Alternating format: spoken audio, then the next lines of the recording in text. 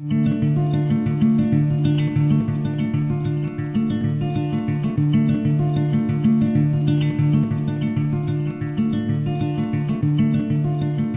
Girls Agenda is an established um, youth organization founded by young women and run by young women for the young people. The mission of the Girls Agenda in terms of communicating to the communities that we are targeting, it's trying to ensure that we have a country in which the right of every girl is protected, respected and promoted. So what we do, like we try to empower these girls, we try to share um, information with them. We also go beyond um, the, the, the, level of the girl child. We go to the communities, for instance, sit with um, people, parents, guardians, and talk to them about these issues.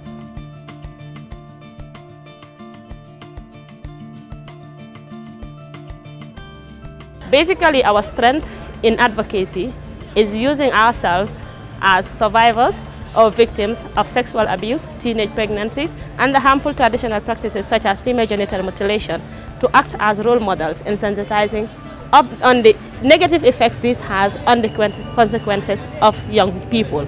We're not just talking, but we're talking because these issues are affecting people and we are examples of those that are affected. So the Girls Agenda is aiming to achieve equality between boys and girls, men and women, for girls to be seen as equal partners to boys, for women also to be seen as equal partners to men. We want a society where everybody's right is respected, where people are seen, are seen as equals and not as unequals. Girls' Agenda has been working tirelessly to empower young women, and notably, as the name implies, the girls. And this has been in various facets that we recognize. Among them, we have the forums, we have the camps, you know, and today we also find ourselves in this madrasa training.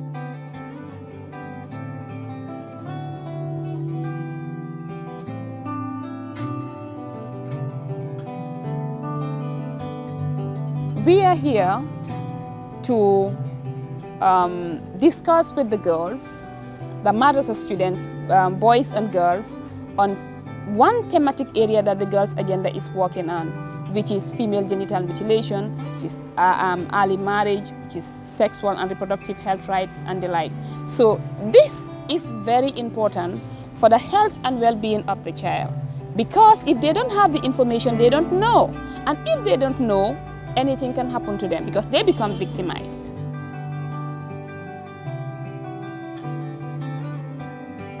Informations are very important.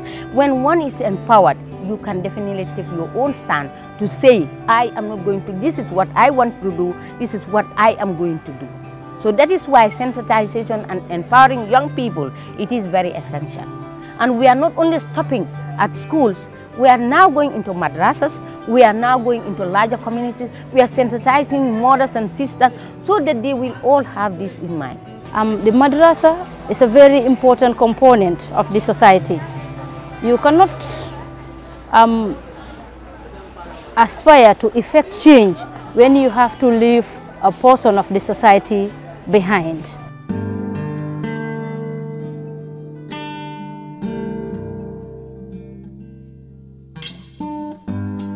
So involving the madrasas is very inclusive and it will encourage the, the participation of those students that are also missing on board. We involve them, one because they're marginalized and it's important for them to be aware of the issue.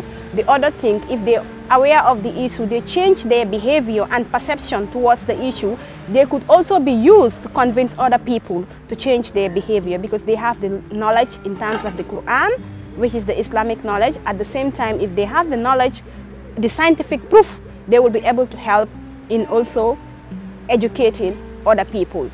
Most of the time, people try to associate these cultural practices to Islam. So this, most of these madrasa students are taught with that school of thought that FGM, child marriage and other issues are supported by Islam. So in trying to demystify that misconception, we have to bring them on board because they're very, very critical in changing this particular issue or in eradicating FGM and child marriage in the Gambia. The madrasa is an integral part of the society and as such, they should be involved in every development aspect of this country.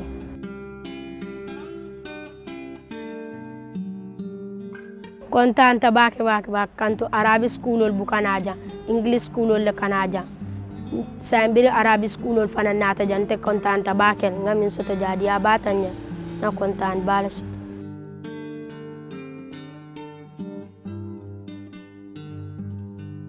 If I am here supporting early marriage to say people should not get married early, I should ask myself, when did I start believing it? Or when did my parents start believing in that? It must be some years or some decades ago. We were part of the other team before joining the other boat. Why did I change? Why did you change? Why did he change? Because we get access to information, opportunity to learn what we did, to know what we did not know before. So it's our responsibility to see those who do not believe in what we believe in, to provide them information, accurate information, consistent information, so that they can also know and understand knowledge that they are not exposed to before. Because with that, they will be able, will be able to put in place a sustainable change, and that is what is related to social transformation.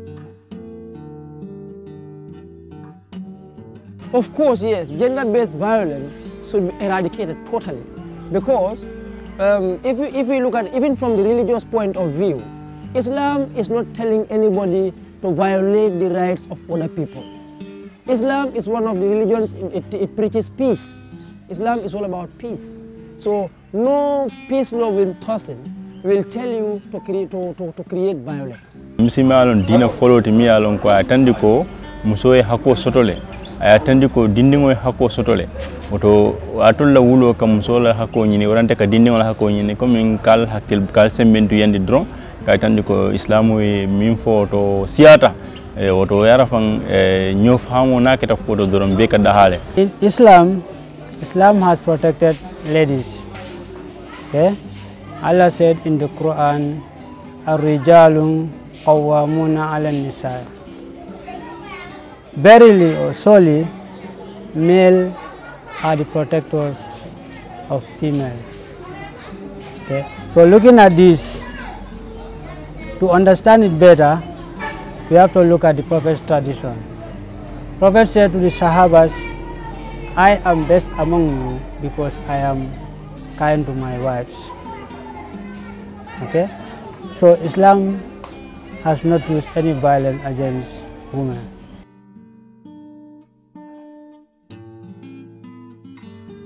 Islam will not ask us to do something as obligatory that would create problems to our health. Because Islam is, is telling us that we should stay far away, we should stay distant from um, um, things that will affect us, especially our health.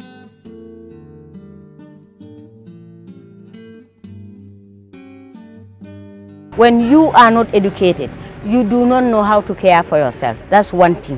And when it comes to reproduction, you need to know the type, the number of children that you want. At what time do I have, do I have to have my own child? When anything is removed from you, you need to know if this is, uh, if this is not there, this is what it has done to me. For instance, when it comes to FGM, the clitoris is not there. Your sexuality has come down. The other thing is when it comes to childbirth, you tend to have complications even before childbirth.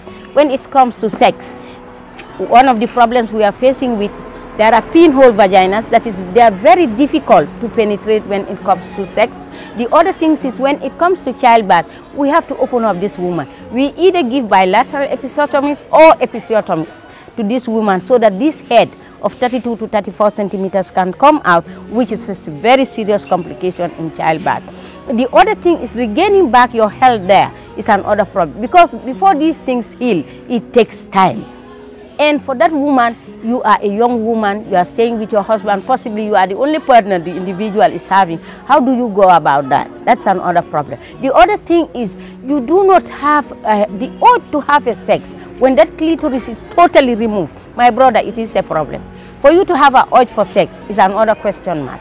These are some of the complications women have come to realize. And they are coming out, they are complaining, they want to be cared of. When these girls are sealed, these ceilings are completely closing the vaginal openings and they have menstrual problems. What do they do about it? They don't know. When they get married, when they are going to their husband, they have to go take them to the local circumcises, open them up with raw, and then they get married that very night. That is a very painful process. It is a painful process. Now, these are all violations of women because their consents, as I said, are not sick. People need to, we are human beings. Women are human beings. We need not to be tortured in that way. It is serious. We do not like.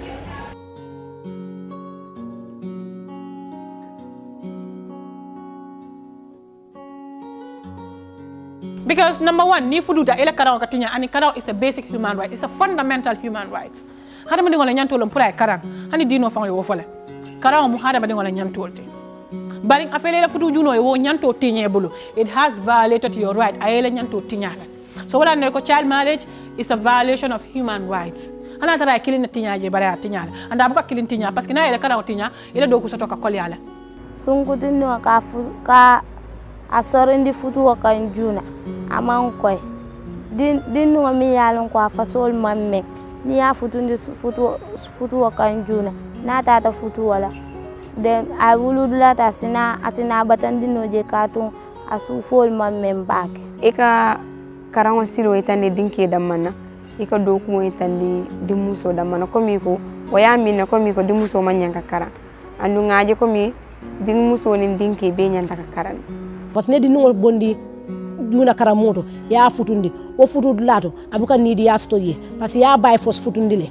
So nani o kelo kuol mantano amari ka tunni torol kon won ni toro fra ce problème mo dialal. E ko mo jamaja ka heart complaint soto wo sifal ka heart complaint dia mari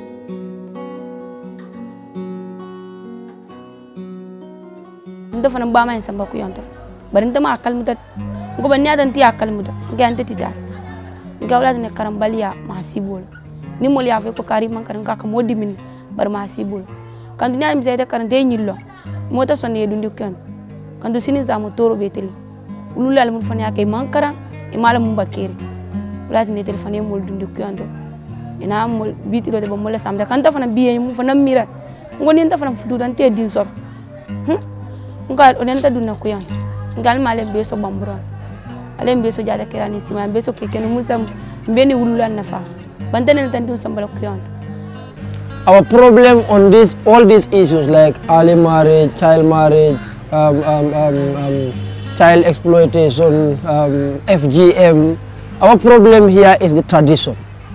I always emphasize that it is the tradition that is giving us the problem because people are not ready to adapt to the changes. These are issues regarding culture and we all know culture is bound to change. So actually, looking at the BCC method of the girls' agenda, I think it will go a long way in changing that issue.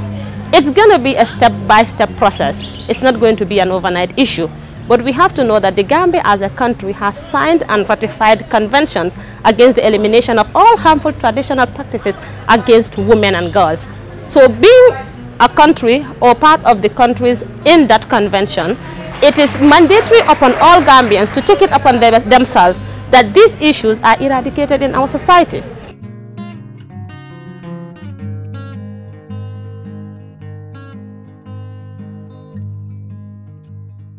Actually, it was hard because these are people with that conception that harmful traditional practices, sexuality and sexual education are issues that should not be discussed openly. But at the end of each school training, we have that feedback from the students that it's something that really needs to be done and they are ready to work with the girls' agenda to make sure that issues of such are discussed openly and they will take it upon themselves to sensitize other people in their society and at home. When you talk of girls and women, we are talking about more than 50% of our population. If more than 50% of our population in any society are not productive, that society cannot be productive society. a jande nga londo jama karan janne parce que nga ñakato ta karan ne. Nga wuluwo ke ñakar wuluwo to batay kamin soto je nga karan. Dunnen kawote kabatami soto je nga karan. Murunta fana ike sungutindiŋol ñapin ka ñameŋ aniŋ dindi meron nga be karan jande ŋo be londo soto jan nga min karanja ntol ntol ma wo karan na karan moto bari sa ko do je mo melon junan ke mele bari melo sa nga wol do lonne nin min man bete ya je mbo wol tula jeli nin dafa nan tata min bete ya ta nyakoto ngo fo mo nyol ye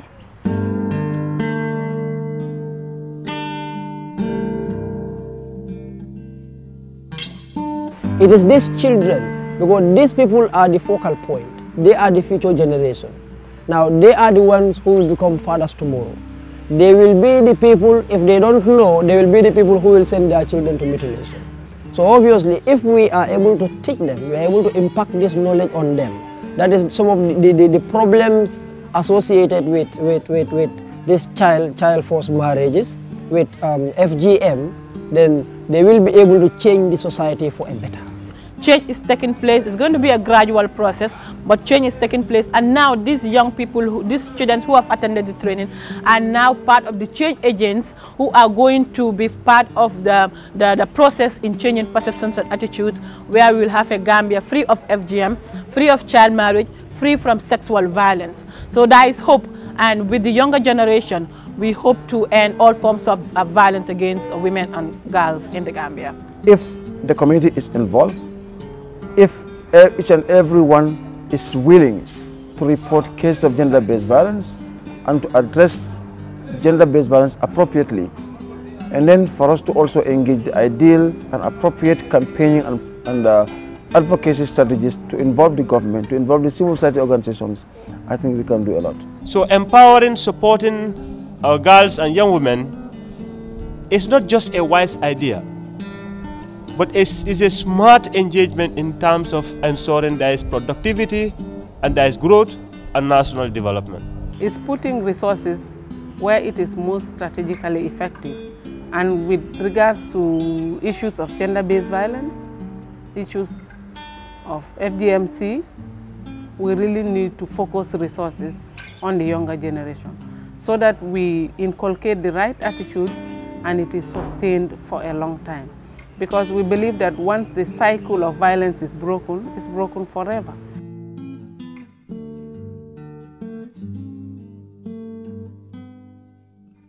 It is a passion for us to engage, but we have our constraints, we have our challenge. We know it is not easy, but one beautiful thing about the Girls Agenda, we engage with or without money, but we cannot despite the fact that we need funding to engage. Because there are some communities, there are some regions in this country that we would love to reach to, but without funding, it will be very hard for us to reach in those places. The passion is there, the energy is there because we're young people. We also have the experience in community initiatives like this. What we need is financial support from donors and guidance from the elders. The Girls Agenda want to seize this opportunity to really thank UNFPA for sponsoring such a great initiative. It is well appreciated by TGA members as well as the community that we are working with. So this message is really telling them that the funding is appreciated and that we are looking for more partnership with them with regards to madrasa students. The Girls Agenda um, wants a Gambia free from FGM, free from child marriage, free from sexual violence. A Gambia where we will all live in peace and harmony, we will all live in freedom, dignity and equality. Protecting women and girls means protecting our future. If we really want our future to be bright, we should stop FGM, child marriage and gender-based violence and discrimination against women and girls. Let's come together to make an end to all harmful traditional practices affecting our young girls, be it child marriage, sexual violence, female genital mutilation, and sexual harassment. We believe when we come together, the power that we have can really make a change to this issue. A single individual cannot do it. And we all have a role to play. We all have responsibilities to act. We either act now today, right now, or we are doomed.